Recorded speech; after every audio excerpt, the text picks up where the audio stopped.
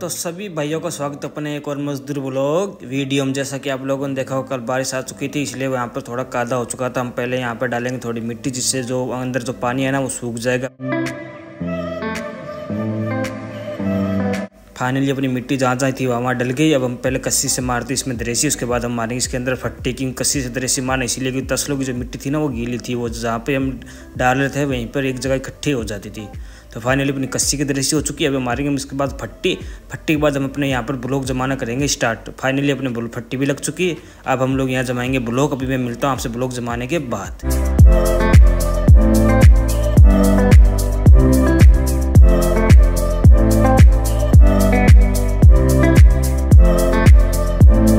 Block थे, यहाँ पर वो हम लोगों ने जमवा दिए जहाँ से अपनी फट्टी लगी हुई थी, और अब वहाँ पर हम लोग लगाना हम लोगों ने कर दिया स्टार्ट अभी देख सकते हो कितना कादा कीचड़ रोड का मिट्टी मिट्टी जमा गीली थी और ब्लॉक भी हमारे जमा गीले हो चुके थे क्योंकि कल रात यहाँ पर आई थी बहुत तेज बारिश, जिसके कारण ब्लॉक के ऊपर जो छोटे छोटे क्रेशर के दाने थे ना, वो हमारे हाथों के अंदर अंगुलियों के अंदर बैठ चुके थे, जिससे हमारे हाथों में भी दर्द हो रहा था।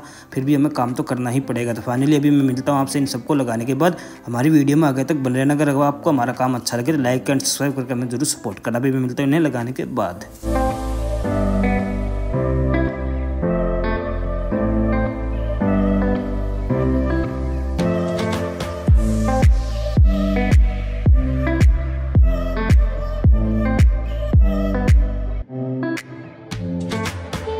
अपनी यहाँ पर दो ट्राली आई थी ढाई ढाई हज़ार वालों की, जिसके अंदर हमने एक ट्राली तो लगवा दी और एक ट्राली भी बाकी है। तो अभी यहाँ पर थोड़े ब्लॉक हमें दिक्कत दे रहे थे, क्योंकि यहाँ पर मिट्टी भी डालनी थी और दृश्य भी करनी थी। तो हमें ये ब्लॉक बाहर निकालने पड़े पहले। तो अपने ब्लॉक वो निकल चुके बाहर और अभी वो ब्लॉक बाहर निकालने के बाद हम लोगों ने लगवा भी दिए। अभी मैं मिलता हूँ आपसे कल। कल यहाँ पर बनाएँगे मसाले से नाली, अभी मिलता हूँ आपसे कल।